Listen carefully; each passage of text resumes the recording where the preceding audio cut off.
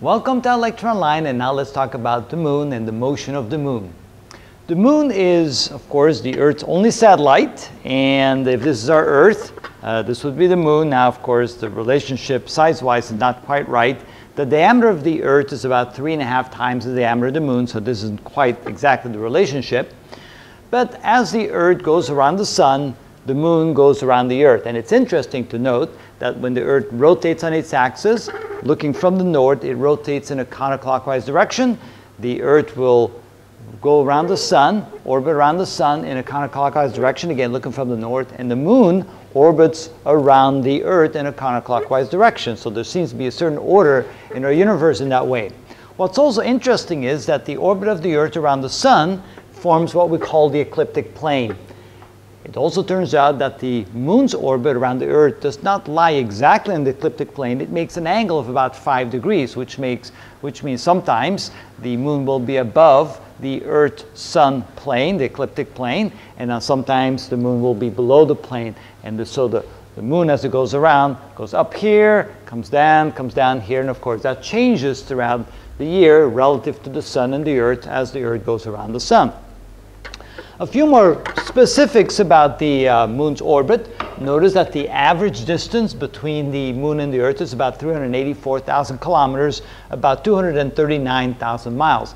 It takes light a little over one second to travel from the earth to the moon. So if we were to turn on a flashlight and point it to the moon, that light from the flashlight would actually reach the moon a little bit over a second later. Notice that the, Earth, that the Moon also does not have a circular orbit, but an elliptical orbit, and there's quite a difference in the distance between the Earth and the Moon. At times, at apogee, which means when the Moon is the farthest away from the Earth, it is 405,000 kilometers away, and at perigee, when it's closest to the Earth, it's 363,000 kilometers away. So that's quite a difference. Notice that the difference is about 40,000 kilometers, which is about 10 percent of the uh, average value, the difference between the farthest and the closest point. So there's, there's quite a bit of eccentricity in the orbit. Also notice that the orbital period is about 27.3 days. We call that the sidereal month because that's relative to the stars. It takes the moon exactly 27.3 days to go once around the earth. And that's kind of where the term month comes from. It's, it's relative to the time that it takes for the moon to go around the earth. Now, what we'll see in the future, in a future video, is that the phases of the moon don't change at an orbital period of 27.3 days. It actually takes a couple days longer, and we'll see why that is the case. But this has a very interesting effect also.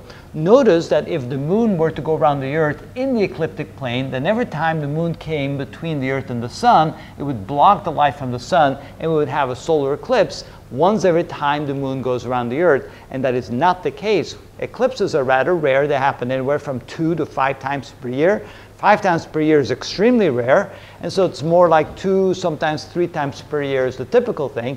And so there's a reason why that happens is because most of the time the moon will be above or below the ecliptic plane when it gets in between the Earth and the Sun, therefore not causing the shadow of the moon to hit the Earth, but to hit the, hit uh, to go above the Earth. And when the orbit is like this, then of course the shadow of the moon will hit below the Earth. But no, depending upon where in the orbit of the Earth, where the, uh, where the Earth is in its orbit, I should say, the moon will either be above, below, and every once in a while it'll be at that plane. Because as the moon goes around the Earth, sometimes it, it will cross the plane on its way down, and it will cross the plane on its way back up. So twice will, and on two occasions, as the moon goes around the Earth like that, every month it will go through the ecliptic plane.